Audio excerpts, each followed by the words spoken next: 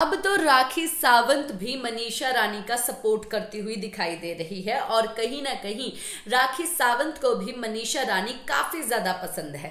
हाल ही में ही जब राखी सावंत दिखाई दी। तब कैमरामैन ने पूछा कि रॉकी एंड रानी आपने मूवी देखा?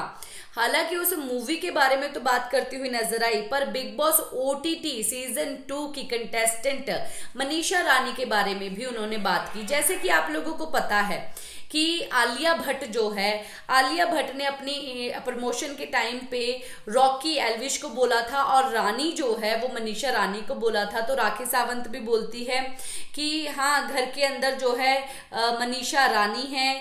घर के बाहर जो है, वो आलिया रानी है और यहाँ पर जो है, वो राखी रानी है। तो इस तरीके से जो है, वो बोलती हुई नज़र आई, जो कि कहीं ना कहीं ये डेफिनेटली पता चलता है कि मनीषा रानी को राखी सावंत भी काफ़ी ज़्यादा पसंद और सपोर्ट कर रही है। आपको क्या लगता है कि राखी सावंत सपोर्ट कर रही है या ऐसी बकवास में कुछ कुछ कुछ कुछ नाम ले दिए अपने फ़ायदे के लिए? मुझे तो लगता है सपोर्ट कर रही है क्योंकि मनीषा रानी सबको पसंद आ रही है तो राखी सावंत को क्यों नहीं पसंद आएगी? इसी के साथ मैं लेती हूँ इजाज़त, नमस्कार।